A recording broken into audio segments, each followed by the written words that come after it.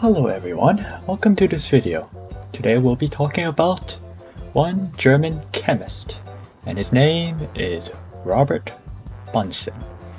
He was born in Göttingen, Germany on March 30th, 1811. He was the youngest of four sons. His father was Christian Bunsen, and he was the professor of modern languages and head librarian of the Göttingen University. His mother is from a military family. When he's 17, he already started working on a degree at Göttingen, an age when most of us are still in high school. He received a PhD of chemistry at age 19, at a time when most of us just started university. He won a government scholarship and traveled all around Europe, going from one chemistry lab to another. In 1834, he started his first important work.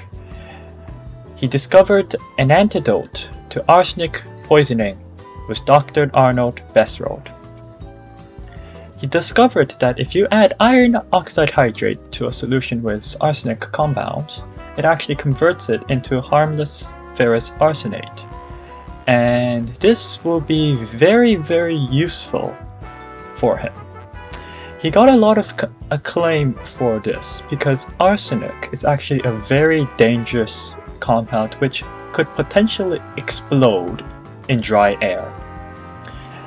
And as you can see, in nine years later, he had an accident in which arsenic exploded in one of his experiments and he was severely poisoned. And the only reason why he lived is he used his own antidote, which he invented nine years before. His right eye, however, was permanently blinded. In 1841, Bunsen invented the zinc carbon cell, which is known as Bunsen battery, and it replaced the zinc platinum battery at this time.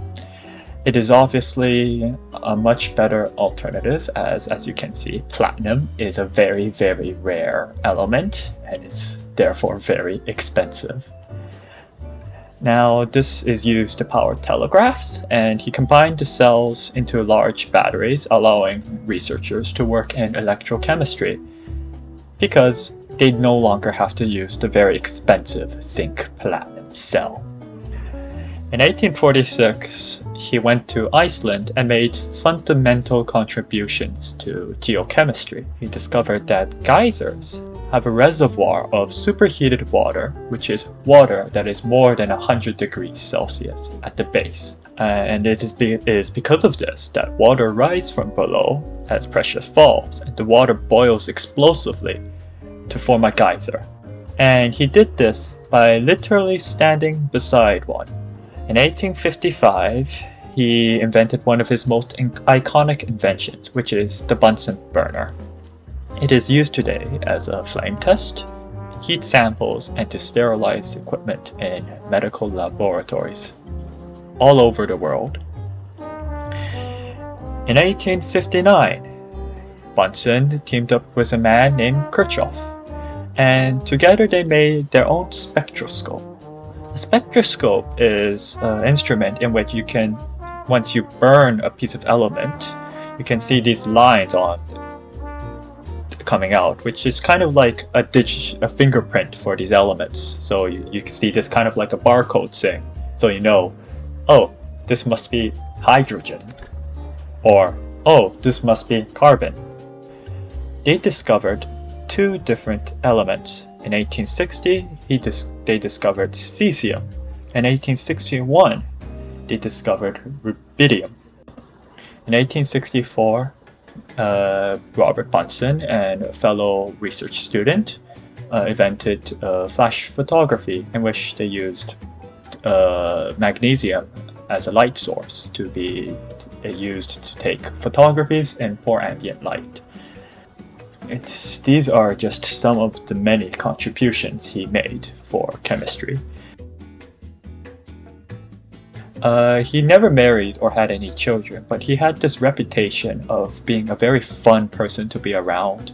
He had a short book published after his death called Bunsen, Bunseniana, which had a lot of his anecdotes. And he was very, very risky, and he worked with a lot of dangerous stuff. For example, he worked with arsenic, which could explode. Uh, he worked with poisonous gas. Uh, he worked with other explosive chemical reactions. Uh, he worked next to a volcano, and he worked next to a geyser. All of it which could probably kill him. Uh, he won the British Royal Society Copley's Medal in 1860, and he also won the Royal Society Davies Medal in 1877.